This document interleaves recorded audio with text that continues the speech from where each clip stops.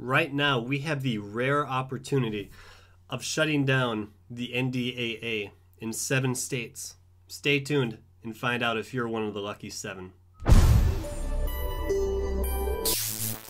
Hey, welcome back, everyone. I am Matt Larson, and I have some amazing news for you.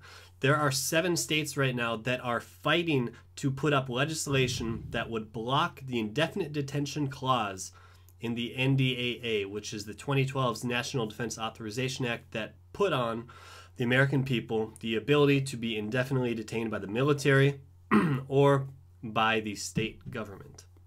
So, I talked about this a few days ago with Michigan about how Michigan actually has voted and passed to get rid of the indefinite detention clause.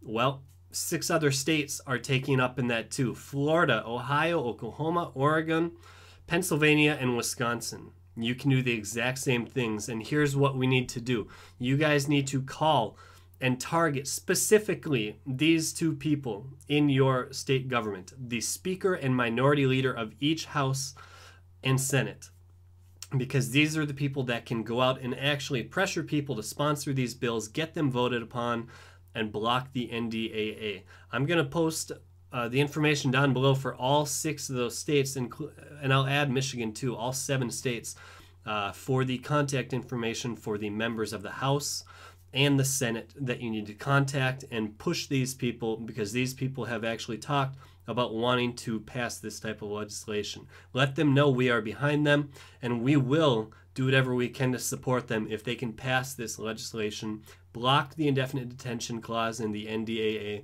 and repeal as much of this unconstitutional bill as we can.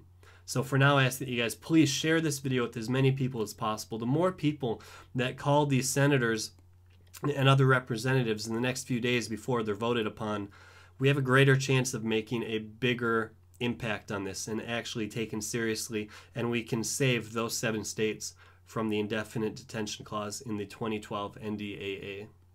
If you're new to my videos, I ask that you guys please click that subscribe button so you can stay up to date on all the current political news. As always, I'm Matt Larson. Go Ron Paul. Peace.